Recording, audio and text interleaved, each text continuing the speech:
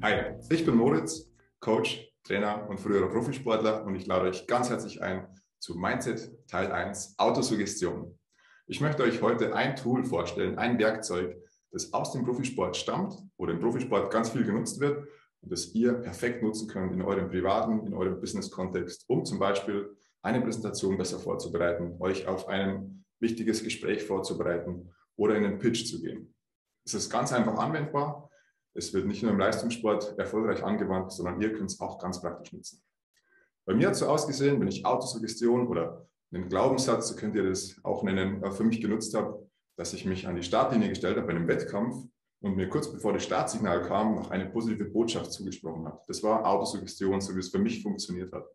Also der Starter gibt das Kommando auf die Plätze fertig los und kurz bevor er das sagt, wenn ich schon an der Startlinie stehe, gehe ich nochmal kurz in mich und murmle mir selbst hörbar, aber leise die Worte zu, das wird gut, das ziehe ich durch. Nur so laut, dass ich selbst hören konnte. Um mich herum im Stadion hat es kein anderer gehört.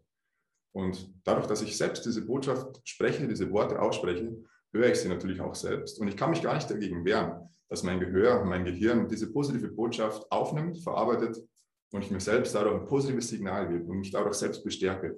Einfach nur, indem ich diese Worte ganz bewusst einmal für mich selbst murmle. Und das könnt ihr auch machen. Das könnt ihr nicht nur im Sport machen natürlich, sondern vor jeder wichtigen Situation, ähm, in die ihr euch begebt, in der ihr Power wollt, in der ihr euch genau auf eine Sache fokussieren wollt, die für euch gut laufen soll.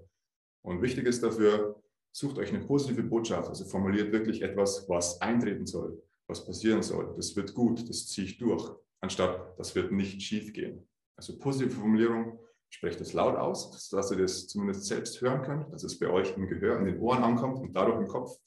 Und dann könnt ihr auch schon schauen, wie es euch damit geht, was ihr für ein gutes Gefühl daraus ziehen könnt, wenn ihr euch damit noch besser, noch stärker auf diese Situation, auf diese Herausforderung vorbereitet habt.